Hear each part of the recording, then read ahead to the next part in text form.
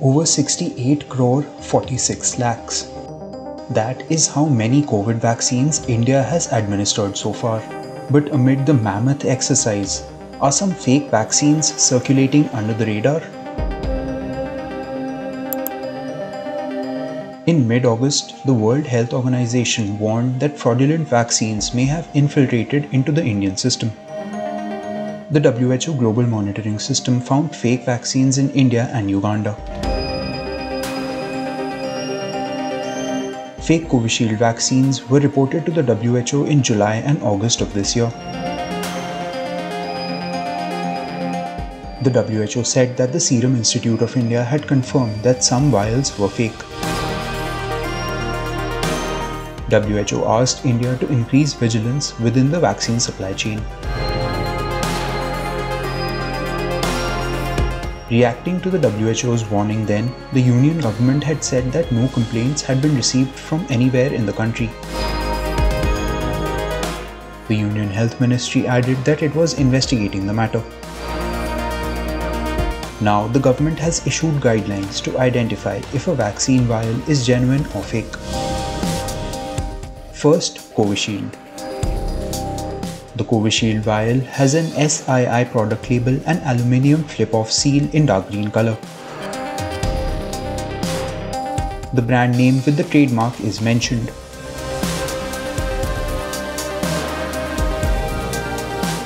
The lettering is printed in special white ink to be more clear.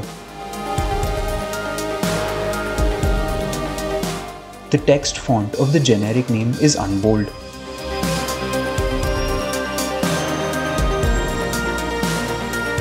It is overprinted with CGS not for sale. The SII logo is printed at a unique angle and position. The label has been given a special honeycomb effect which is visible at specific angles. The honeycomb effect has been altered at specific places and can be checked by those aware of the changes. What about Bharat Biotech's Covaxin? The Covaxin vial has an invisible UV helix or DNA-like structure on the label and it is only visible under UV light. There is microtext hidden in the label and a green foil effect in the X of Covaxin. There is also a holographic effect on Covaxin. The third is Russia's Sputnik V. The Sputnik V vial has different labels for two bulk manufacturing sites. All the other information and design are the same except the manufacturer's name. The English label is only on the front and back of a carton of 5 ampule pack for imported products. All the other sides, including the primary label on the vaccine ampule, are in Russian script.